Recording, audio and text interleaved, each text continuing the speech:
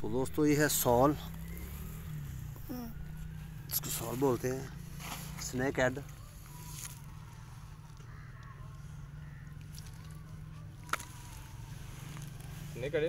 snack ad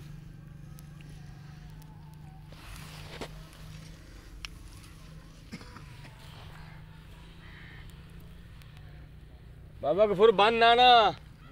आ तेन तोल देना ना बाकी ਆ ਵਾਲੀ ਮੇਰੇ ਕੋਲ ਨਹੀਂ ਵਿਕਣੀ ਮੁੰਡੇ ਨੂੰ ਅਸੀਂ ਕਿੱਧਰ ਲਿਜਾਵਾਂਗੇ ਉਹ ਸਾਰੀ ਪੰਜ ਸਿਰ ਮੱਛੀ ਹੋਣੀ ਕਿੱਧਰ ਲਿਜਾਣੀ ਉਹ ਯੂਸਫ ਦਾ ਖਾਤਾ ਕਰ ਲਓ ਲੈ ਲੈ ਬਾਹਰ ਰਹਿਣ ਦੇ ਮੁੰਡੇ ਇੱਕ ਜਿਹਾ ਜੀ ਅਰੇ ਭਾਈ ਕਿੱਧਰ ਗਿਆ ਜੱਟਾਂ ਨੂੰ ਪਾਣੀ ਛੱਡ ਮਰੇ ਨਹੀਂ ਬਾਲਟੀ ਬਾਲਟੀ ਫਾੜ ਕੇ ਉਹਨੇ ਛੱਡੀਆਂ ਨੇ ਨਹੀਂ ਇਹਦੇ ਹੋਰ ਪਾਣੀ ਅੱਗੇ ਨਹੀਂ ਰਹਿ